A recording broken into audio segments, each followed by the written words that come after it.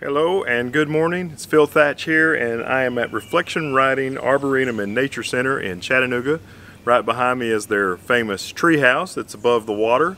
It's really nice. Uh, right over there is Paddler's Perch and Lookout Creek. And I'm here because my friend Joy Adams found a Prothonotary warbler here and I'm hoping to capture it with some stills and video. So far I haven't seen it, but let's see if I can find it a little later.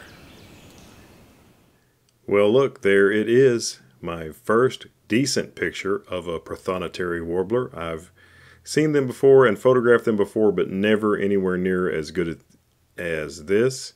So I'm really thrilled for this opportunity that I had. George Bryan Discovery Forest Treehouse. This place is awesome.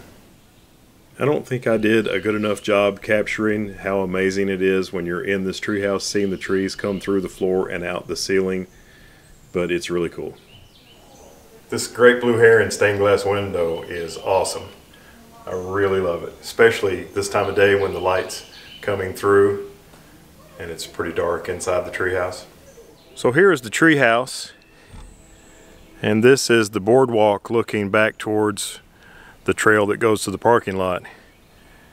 And there's my camera. It's actually not on the warbler nest right now. I've got it looking at a bluebird nest that Robert told me about.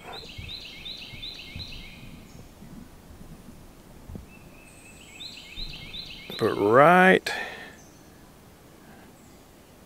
right there is the tree that has the warbler nest in it.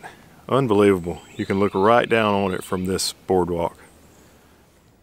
Well, there it is, the Prothonotary warbler at its nest. This is the only time that it landed on the nest while I was there, or that I observed. It may have while I was looking at other things. You can probably hear my D500 shooting away while I made this video with the Z6. So I had two cameras going, trying to get as much as I could. Look, it ate the grub that it brought to the nest. Or maybe that's a worm. I'm not sure. Towards the end of this clip, you can probably hear some elementary school students that were leaving the treehouse and walking right past my camera. And I don't know if the warbler was just ready to leave the nest or if the students spooked the warbler, but it left right about the same time as a complete group of students was walking past.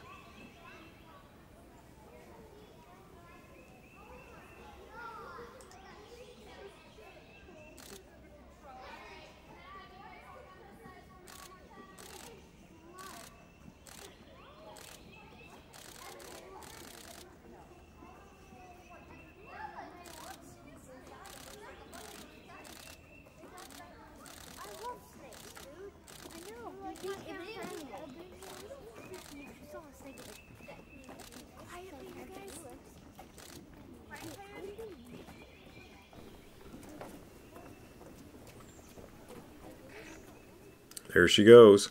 So this still I made on the other side of the boardwalk just before it came to the nest. That's the same grub or worm that it had in its mouth. And this still, and I believe the next one were made while I was making the video clip that we just watched with the Prothonotary warbler on the nest. And the next clip, the warbler is in the nest. And like Arthur Morris says, there's always one stick too many. For the Prothonotary Warbler video, I'm using the 500 F4 and the FTZ adapter and the Z6. I had a teleconverter on there, but I don't even need it. I went to DX mode, so I'm at 750 millimeters, and I'm shooting uh, 1 60th of a second, F11. Auto ISO, it's bouncing around, but it's right around a thousand uh, to keep the exposure just right. And then for stills, I'm using the trusty D500 and 200 to 500 f5.6.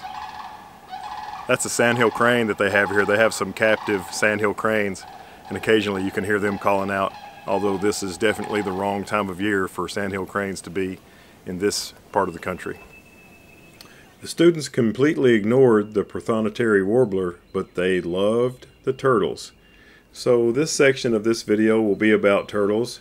I made a number of turtle photos and video clips while I was waiting for the warbler to come around. And here's a few of those. I'm used to trying to sneak up on turtles from a boat or a jet ski with a camera and the boat always scares the turtles but from here they just kind of let you take their picture or shoot video of them.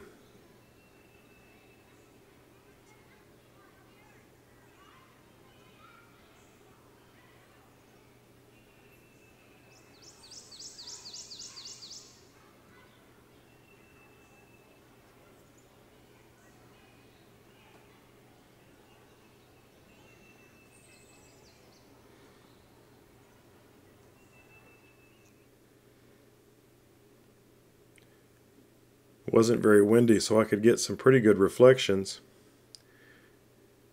This is my favorite turtle photo of the day. Lots of nice light and nice reflection. I think Joy was the first one to find the Prothonotary warbler nest, but uh, Robert also came out here, my friend Robert Scott came out here and found some stuff, and of course my buddy Brett Douglas has been telling me about this place for years. He even put me on his membership one year and I failed to take proper advantage of it. But uh, anyway, lots and lots of friends. It's good to have friends uh, who do wildlife photography because they can kind of help you out, show you where stuff is. Uh, there is a very difficult to spot and blocked by leaves, but there's a red shoulder hawk nest right over there and uh, right over there is a bluebird nest. I didn't really get much at the bluebird nest that Robert told me about but I did get this short clip. And now we're back to the Prothonotary warbler and this is my second favorite photo of the day and here comes number one. This one's my favorite. Of course you've already seen it because I used it as the thumbnail for this video but I left the background at the same amount of brightness that it was and then I brightened up the bird quite a bit when I did post on this. I really like this one. Thanks also to Jessica Whitehorn. She's a photography acquaintance of mine who works here and she told me right where to go. She reiterated Joy's directions but especially thanks to Joy who found this nest as far as I know and immediately sent me a message saying you've got to go here. So thanks very much to Joy Adams. Well, I've been hanging around here at the treehouse where the Prothonotary warbler nest is for, I guess, a couple of hours, and the, the, the male has only come down and landed on the nest once while I've been here. Fortunately, I did get video of that, um, and I got some pictures of him around various places. Not as many as I would have liked, but the, definitely the most Prothonotary warbler pictures I've ever gotten, so I am very pleased. And uh, I think I'm going to head on out now and maybe uh, I may there's a there's a driving path around this place, so I may drive it. I don't think I'm going to do any more hiking. Um, but anyway, I really appreciate you taking the time out of your day to watch this video. If you liked it, give it a thumbs up. That really makes a difference. And if you want to see some more content like this, hit the subscribe button. And I look forward to seeing you in the next one. Bye-bye.